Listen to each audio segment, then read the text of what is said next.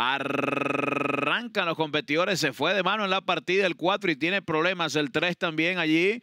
Viene rápidamente por la parte externa el caballo Mr. Suits a tomar la punta. Ataca a Thompson, se acomoda en el segundo. Allá vuelve a tener problemas el jinete del 3 levanta. En el tercero está el caballo Winning Beat. En el cuarto por la baranda Mr. Beatbox. En el quinto con muchos problemas aparece Hanson Harry con Juan Hernández. Mientras que el número 4 Let's Have One More se ha quedado en la última colocación. Pasa el penúltimo y deja el 3 en el último lugar. 24-2 el primer cuarto de milla y pasó Thompson, el outsider de la prueba. Trae ventaja de medio cuerpo sobre Mr. Sutz que está en el segundo. En el tercero Winning Beat. En el cuarto aparece Let's Have One More. En el quinto por la baranda Mr. Big Books. Mientras que el número 13, el caballo Hanson Harry, está último, pero corre muy cerca. Tres cuerpos y medio en el último lugar. En la recta de enfrente pasó Mr. Sutz a la punta. Vuelve a la pelea Thompson por dentro. En el tercero Let's Have One More. En el cuarto se queda Winning Beat. Al quinto intenta movilizarse el ejemplar Mr. Big Box y continúa el 3 Hanson Harry en el último puesto. 49-3 la media milla. El 4 el favorito. Let's Have One More está desplazando. Se resiste Mr. Sud por dentro.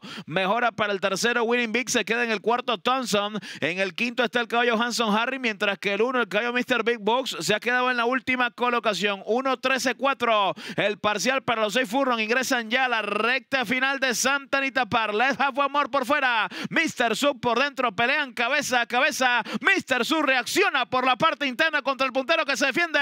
Domina el 4. Let's Have One More. Insiste Mr. Sub por la parte interna nuevamente. Mr. Sub por dentro. El 4 por fuera. Aquí está la raya. Ganó Mr. Sub. Una gran carrera. En el segundo, Have One More. Tercero para Winning Beat. Cuarto el ejemplar Hanson Harry.